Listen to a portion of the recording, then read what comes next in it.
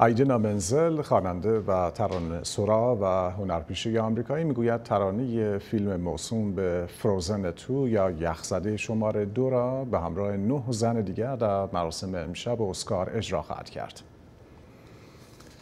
منزل خواننده و ترانه سرای 48 ساله آمریکایی شب گذشته در مراسم اهدای جوایز موسوم به اسپریت در شهر سانتا مونیکای ایالت کالیفرنیا گفته بود در مراسم اسکار امشب آهنگی را اجرا می کند که در بسیاری از کشورهای جهان به زبانهای محلی خوانده می شود.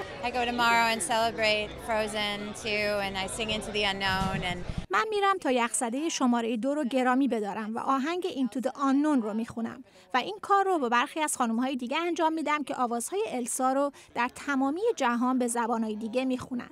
بنابراین یک جشن واقعا زیبا خواهد بود. ایدینا می‌گوید پیش از اجرای ترانه روی صحنه مراسم اسکار آهنگ را در منزل برای فرزند پسرش خوانده است تا هنگام اجرا در شب جوایز دیگر عصبی و هول نباشد. به ویژه اینکه ستارگانی چون براد پیت و لئوناردو دیکابریو در جمعیت حاضران حضور خواهند داشت.